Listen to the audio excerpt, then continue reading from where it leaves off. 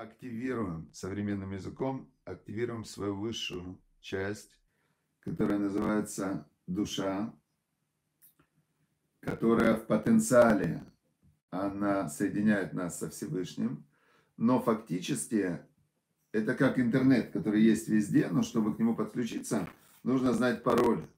Знаешь пароль, подключайся. Не знаешь пароль, извините. Вот так и сеть видишь, знаешь, бывает Wi-Fi такая. Сеть есть, есть. А присоединиться, скажи пароль.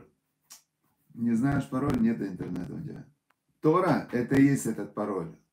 Тора и заповеди – пароль к интернету, ко Всевышнему. Такая метафора мне сегодня пришла, да? Мне кажется, очень, очень э, подходящая метафора, которая современному человеку объясняет – чем мы занимаемся. Да? Мы сейчас изучаем пароль к Wi-Fi, связь со Всевышним есть, она есть, и так она есть, она у всех есть. Просто у человека сознание, оно закопчено, закрыто, закрыто сознание у большинства людей, которое должно соединять с душой, с Богом. И вот мы его сейчас очищаем. Итак, сегодня у нас врата 20 Мы уже очень глубоко продвинулись по пути праведников. Прошли уже 19 разных качеств. Напомню, 19 было какое? Запоминание, память. Запоминание было это 19 все остальные не помню. Если бы они сделали запоминание первым, мы бы, конечно, бы все запомнили. Но из-за того, что автор этой книги, он запоминание поставил на 19 место, оказалось, что мы-то все предыдущие уже забыли. Забыли мы все предыдущие. Врата гордости, врата смирения, врата стыда, врата наглости, врата любви, врата ненависти, врата милосердия, врата жестокости, врата радости, врата беспокойства, врата сожаления, врата гнева, врата расторопности, врата лени, врата щедрости, врата скупости, врата памяти 19. И мы сейчас находимся на воротах забвения. Врата забвения. Если про память это была, наверное, самая длинная глава, то забвение, она самая коротенькая. Вот одна страничка и еще кусочек. Пишет так, что память это основа всех хороших качеств. То есть, если ты запоминаешь то, что нужно запомнить, и он нам предложил запомнить 30 э, идей, которые мы уже, скорее всего, забыли. Если человек запоминает правильные вещи, то эти правильные вещи, они как семена в его мышлении, правильные идеи, правильные убеждения, они фундамент для его правильных решений, а правильное решение – фундамент для правильных действий, а правильное действие – фундамент для правильной жизни, для правильных результатов. Но, к сожалению, это помним, что читали, но мы, слава Богу, учимся, мы стараемся, в результате это остается мало. И вот он пишет забвение, забывание, шихиха на иврите. Это очень плохое качество для человека, занятого делами этого мира и готовящего себя к миру будущему. То есть здесь он нам сразу пишет, что вообще человеку помогает забывать. Из-за того, что у человека очень много информации входящей, которая постоянно с разных сторон, особенно мы сегодня живем в мире пере, а, переизбытка информации. То есть информация идет со всех каналов, со всех сторон, просто ты не можешь от нее вообще никак избавиться, да? И из-за этого вот те вот золотые самородки, те крупицы, те алмазы, полезные для человека информации, они теряются в огромном мусоре. Мне очень запомнилась последняя метафора из э, раздела, предыдущего раздела про память, она именно и запомнилась, потому что она метафора, да, картинка.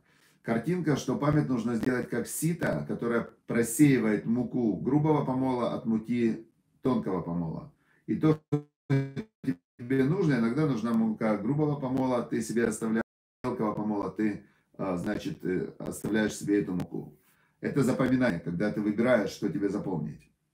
А если ты просто отпускаешь этот процесс на автомат, тогда э, работа мозга, он сравнил ее с тем, кто сквозь тряпочку процеживает вино. И в тряпке остается только мусор, вот эти вот шмарим, какие-то назывались не шмарим на иврите, ну, в общем, те вещи, которые вообще несъедобны, их никуда нельзя использовать. А хорошее вино уходит.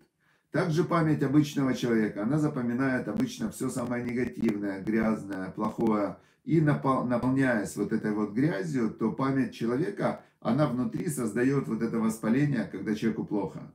Поэтому нужно просеивать. Ни в коем случае надо запоминать все, что вредит. Надо запоминать только то, что полезное. Для этого нужно это полезное отбирать. И вот тут он нам пишет, как вредить человеку забывание. Например, забывчивый человек должен вести запись всех дел, которые ведет с другими. Даже если речь идет о мелких деньгах, пусть записывает, одалживая другим и занимая у других.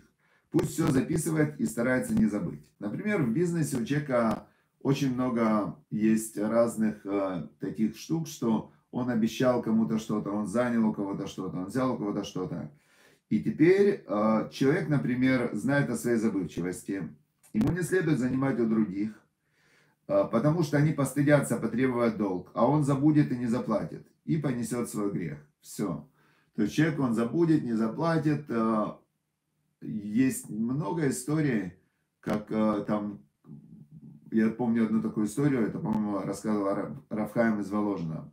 Он был учеником Веленского Гаона, и он первый основал Ешиву в Воложине. И умер один из э, учеников, и он э, рассказал, что он как-то... И он, значит, умер один из учеников. Он начал во сне приходить к своему товарищу, и тот просыпался, но не мог понять, что он хочет.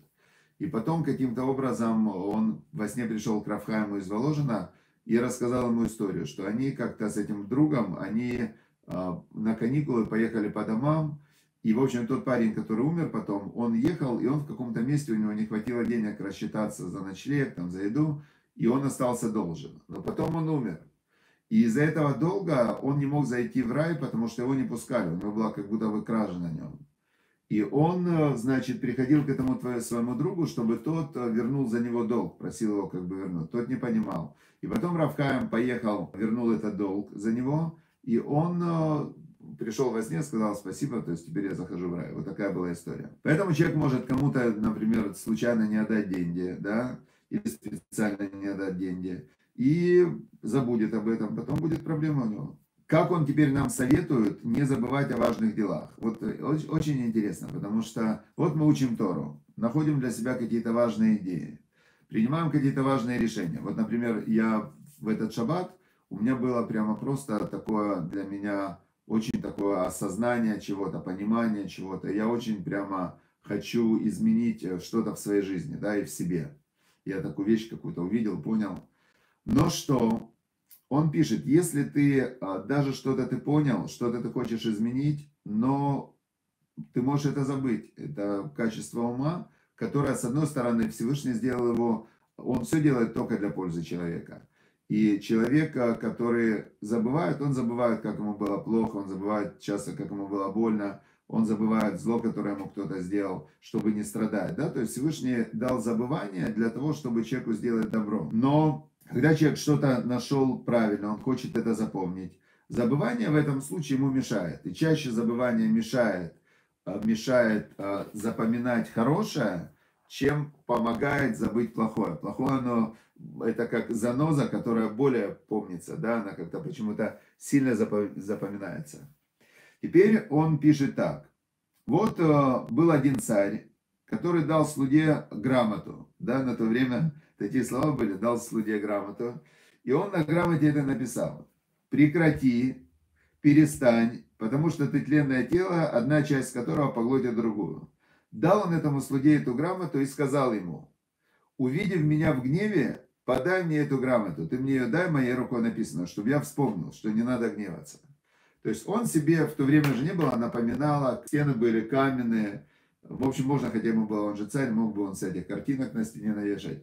Но он сделал вот такой вот, как вместо магнитика на холодильнике с напоминалочкой, он э, своему помощнику, слуге своему, да, дал эту грамоту, и говорит, как видишь меня в гневе, показывай мне эту грамоту. Сделал такой поп-ап, знаете, сейчас есть на компьютере можно окно напоминалки сделать, а в то же время не было, так он ему слуге дал грамоту, сделал из него. Еще у него был другой слуга, которому было приказано предстать перед царем, когда он прикажет бить кого-нибудь плетьми. И должен был он ему сказать, так, в этот момент. Господин мой, помни день суда, также и будут тебя бить огненными плетьми, когда ты уже придешь туда на небо. Как ты сейчас приказываешь бить кого-то, лучше остановись. И он, значит, сделал для себя напоминалки. Из этого мы извлекаем поучение для многих вещей, говорит автор книги. Забывчивый пусть делает себе памятки. Вот все, что вы хотите запомнить, нужно себе прям написать. Вот можно вот такие использовать бумажечки, написать себе памятки. Можно какие-то картинки, можно... А, я вот специально сделал себе, уже половину дела я сделал, но не доделал. Я купил себе на телефон прозрачный специальный чехол, чтобы за этот прозрачный чехол можно было ставить бумажечки с какими-то напоминалками, что вот ты хочешь что-то делать, что ты ставишь. То есть все правильные вещи, которые ты узнаешь и хочешь внедрить в свою жизнь, нужно сделать о них напоминалочки внешние, чтобы они тебе памятки, чтобы они напоминали. И требуется положить себе урок, дабы, чтобы не забыть учение. Вот два слова, которые показывают такой вот э, устаревший религиозный перевод, это «ибо» и «дабы». Вот если человек хочет, ну, таким писать языком непонятным, чтобы сразу люди современные, они отказались считать, обязательно нужно вставлять «ибо» и «дабы». Все. «Ибо», если ты вставляешь «ибо», значит, э, люди понимают, что человек пишет, э, какой-то странный человек пишет этот текст, и дабы тебя поняли, значит, не используй ибо и дабы. И требуется положить себе урок, дабы не забыть учение. Как написано, как сказано в Торе, только берегись и весьма оберегай душу свою, чтобы не забыл ты того, что ты видел. В книге Дворим написано, прям Всевышний предостерегает э, народ Израиля, который стоял у горы, горы Синай, видел получения Торы, видел 10, зап 10 казней, слышал 10 заповедей и так далее, он говорит, берегись, говорит, чтобы не забыл ты того, что ты видел. Но не только это, у человека в жизни есть э, разные события, которые у него происходят, где Всевышний ему помогает. И вместо того, чтобы записать это, сделать праздник, да, праздник первого выздоровления своего, праздник спасения там э, из-под колес автомобиля, праздник, как Всевышний меня спас от э, там, какой-то страшной болезни и так далее. А человек вместо этого помнит наоборот все, что у него было негативного. И что получается? Его мозг, который заполнен вот этими негативными событиями, он все время боится, он проецирует на будущее страх. И человек, который помнит э, спасение Всевышнего, помнит все его победы, да, которые он давал, и так далее. Он также говорит спасибо Всевышнему. То есть он полагается на Всевышнего, потому что он помнит добро, и оно у него активировано, это добро. Дальше пишет автор книги, где надо использовать забывчивость. Нужно помнить свои проступки, пишет автор книги. Вот тут вот это вот я с ним не согласен особо, но мы изучаем, он как бы все-таки великий человек, поэтому нужно прислушаться. Пусть же помнит свои проступки и запишет их в книгу. Надо записать свои проступки, где ты ошибаешься. И читать постоянно, чтобы помнить все раскаяться в каждом исповедоваться перед ним перед Всевышним. А, значит, тут смотрите, что интересно. Он пишет такую вещь. Действительно, с другой стороны, это очень мудрая штука. Я вспоминаю, когда-то я а, обучал компанию, а, Сталогистик она называлась, из Беларуси. Сергей Капустин был директор этой компании.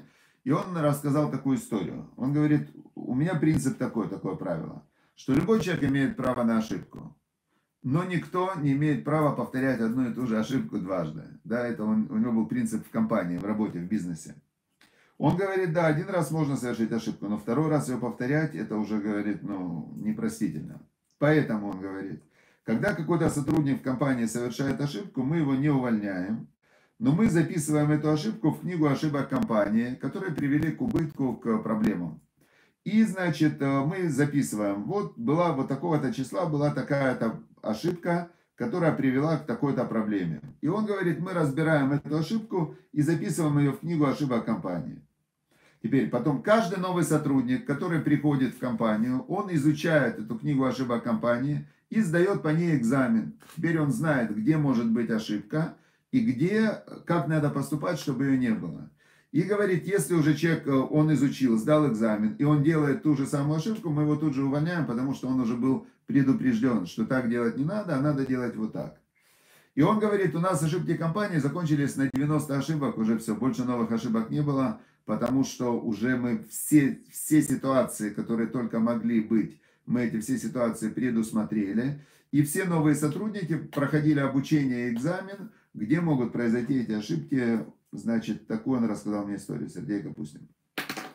Здесь автор пишет то же самое. Он пишет, если у тебя есть какой-то проступок, запиши в книгу свою личную, как ты его сделал, не забывай, что тебя к нему привело, и как надо было поступить, чтобы этого с тобой не произошло. И получается, что если тогда опыт, есть люди, которые не запоминают, и они делают, наступают на одни и те же грабли, раз за разом они наступают на одни и говорят, о, почти, как а, есть один у меня знакомый, который 10 раз женился. 10 раз он женился, и каждый раз он оказывалось, что он ошибся. А что ж ты так ошибаешься? Значит же, наверное, у тебя есть какой-то сбой программы, раз ты так уже 10 раз ошибался. Есть люди, которые, которые не извлекают опыт, они забывают, что сделали ошибку и что их привело. Поэтому совет этот очень важный. Записать проступки с разборами, в них раскаяться. А что такое раскаяние?